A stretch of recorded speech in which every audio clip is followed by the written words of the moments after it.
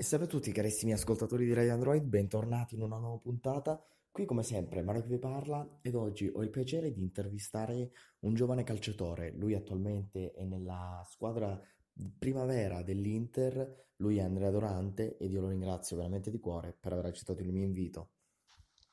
Salve a tutti, sono Andrea Dorante e ringrazio Mario per l'invito e do il via alle domande.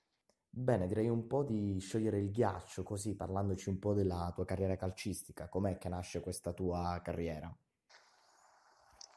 La mia carriera calcistica iniziò a 5 anni al Parma con i Pulcini e l'Inter mi seguì fin da subito e quando raggiunsi l'età, l'età giusta, esattamente 4 anni fa, dopo il fallimento del, del, del Parma, nel 2015 mi trasferì a Milano e entrando a far parte dell'FC Internazionale. Bene, invece per quanto riguarda proprio la tua passione per il calcio, com'è che nasce? La passione per il calcio iniziò fin da piccolo, quando mio papà e mio nonno mi portarono al campo e assaporando i primi calci e avendo una famiglia che è sempre stata proiettata per questo magnifico sport e da lì iniziò questa passione. Per quanto riguarda invece i tuoi gol, ehm, hai mai dedicato un qualcu- a qualcuno un gol e se sì, a chi lo hai dedicato?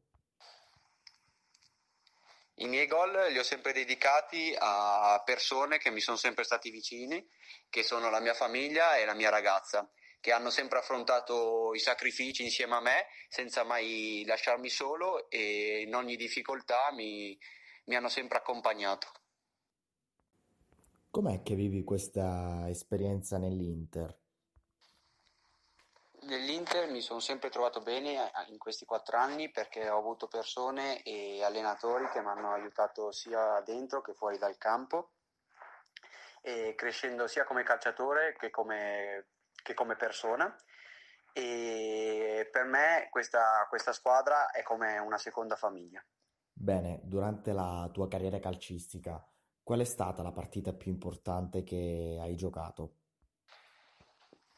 La partita più importante è stata quella dell'anno scorso dove abbiamo affrontato la Fiorentina in finale scudetto portando a casa la vittoria.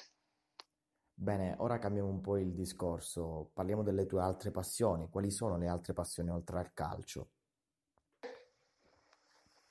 Oltre al calcio ho un'altra passione che è quella per la pesca, che fin da piccolo mi è stata trasmessa da mio zio.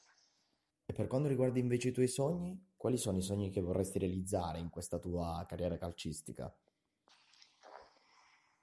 Il mio sogno calcistico che vorrei si realizzasse è quello di esordire in Serie A con la maglia dell'Inter davanti a tutte le persone che mi hanno sempre seguito.